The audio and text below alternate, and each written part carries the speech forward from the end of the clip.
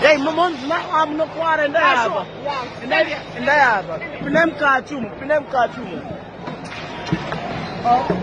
Pinem kachumu, ei, pinem kachumu. Um. Pinay um kachumu. Hey, Ei, umum. Um.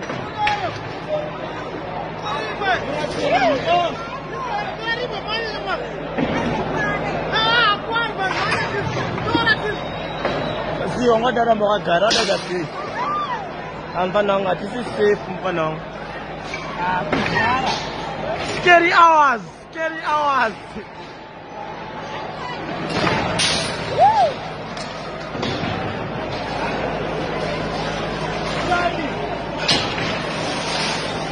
Ah, mpana japeza chacho wino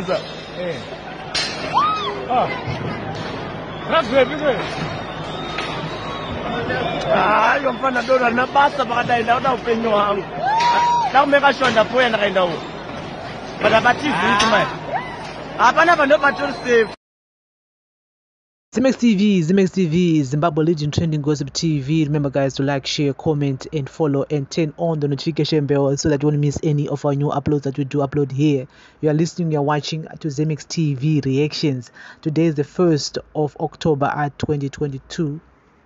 Happy, happy new month. And so, guys, uh, those are some of the two clips which are circulating on social media. And uh, yes uh, people throwing uh, mabodoro matombo pa stage. And uh, it happened in gweru at the vg complex as uh, hanzi japreza e, vakanonoka kupefoma here nezuro manheru.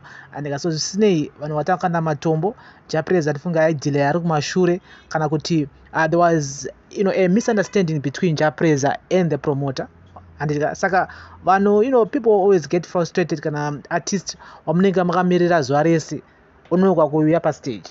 And uh, because uh, usually uh, the main act anozopinda kuma 9 10 11 ikoko 9 10 11 because uh, show inopinda maybe kuma 12 and exactly 12 or 11 or 1 show inenge yakupera. Saka one of those uh, frustration situations whereby someone else will delay to come on stage because of many reasons. Munhu aripo mamona asvika but haasi kuuya pastage and uh, so um, people ma streets and social media you know are, are reacting towards uh, these two videos but doesn't necessarily mean kuti kana munhu anonoka kuuya pastage motaura kana matombo kana mabhodhororo whatsoever mean promoter needs to come out and let the people know kuti zvaka and for events to be successful they must have security security security because uh, security yakava iripoka vanhu havaita zvemisindo zvokanda matombo mabhodhoro pastage pa andika so say kuti a good move mari haisi kunhongwa and the funds have also other things to do than to continue waiting for, an, for a fool of an artist playing uh, good or good whichever he is playing. Mari kuti uh, that zimbabwean use for you and uh, direct your anger uh, to the right people mwari kuti um, if only the same energy was used to free zimbabwe we are unfocused youth uh, for sure. And, uh, and uh, japreza actually issued a statement uh, you know, because video iri kutenderera japreza on his uh, facebook account uh, wrote that uh, last night 3g the band failed to perform for all the music lovers in gweru due to most unfortunate circumstances which i shall now explain. Upon engagement with the promoter the jp management team and organizers agreed on specifics uh, that would make us deliver the best set for our fans. There is a standard for a JP performance set, and sadly, that standard was not met as agreed upon. Unfortunately, to begin with, the PA system was way out of the spec range we agreed to, and the music lovers had a difficult time with the audibility of the artists who were performing on stage. The set that was availed was suited for DJ slots and artists who use backtracks for their performances and does not require much in terms of the equipment. The performance of a band as large as ours with such equipment was not possible. The performance would have been a terrible experience for our fans and would definitely affect the brand they've grown to love over the years. In efforts to fix the PA system before we performed due to change times would have exposed the band members to misuse, therefore risking their, their safety. Despite management efforts were ahead of time, the organizers failed to rectify the issue. Secondly, the performance date we engaged on and agreed to was supposed to have been Friday, the 30th of September. The promoter kept pushing our performance time into the early hours of Saturday, uh, the 1st of October, and this agitated the crowd. To my fans who blazed the night and sacrifice time and money to see us do what we do best, we shall continue to push event organizers to deliver as agreements and value the time and money that fans put into support our industry. Thank you, Team JP, for your understanding.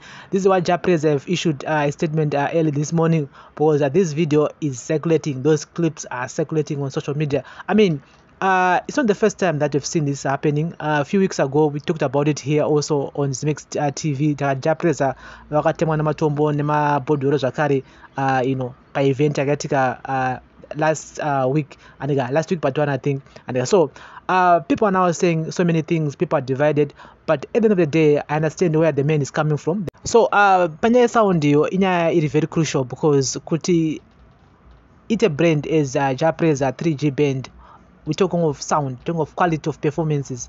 And because uh, if you perform bad, many people are not going to remember all those good performances. Many people are going to remember that one performance yanonga akaita in gweru kuti ah, pape kugweru akabika nyemba kugweru akabika nyemba japresa it's because unonga wakaperforma because you, you want to get paid at the same time my promoters need to understand that once there's a contract there there's a contract and you need to follow uh, those conditions that per contract. The man is supposed to perform on the 30th of september. You can't be pushing someone else are performing on the 1st of october. Azite post contract yakanzi 30 of september.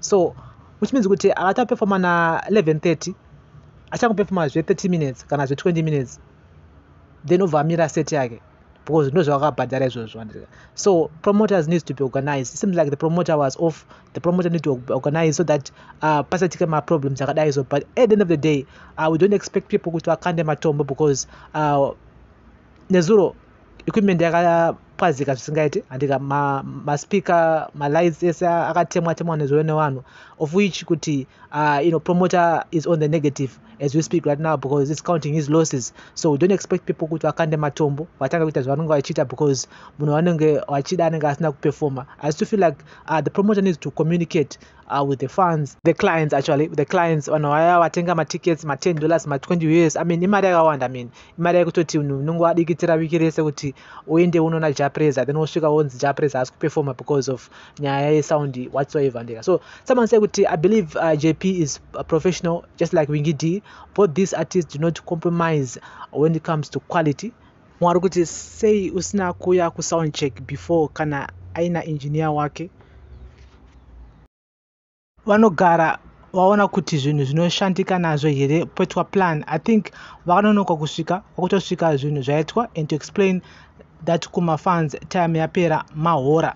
Andika uh, mumwe ari kuti uh, youare right say the problem is always the tools not the man mari kuti uh, never heard the likes of macheso complaining about pa system. Ari kuti but guys komanaja vake basa rake nderei ngatipei hedu mari dzedu kune vanhu vekunze kosupport our local artists. Haisi kushanda. And so guys this is zimix tv reactions on zimix tv remember guys to like share comment and follow. And uh, turn on the notification bell so that you won't miss any of our new uploads. Social media streets is are divided. People are saying sort of things. Some people are against jp some people are supporting the man. Imi say personally i feel like the promoter dropped the ball. And the promoter knew that uh, japres anoperforma neband of course panodiwa pa system inenge ichisumudza band andika yes equipment yakanaka yekuti kana quality ichibuda inobudawo sound inenge iri bo not just uh, for jp only but for any artist munhu kuti apefuma pastage anenge achida pa system inenge iri bo andika so ma one thank you for listening and watching Zimex TV Reactions. Bless up.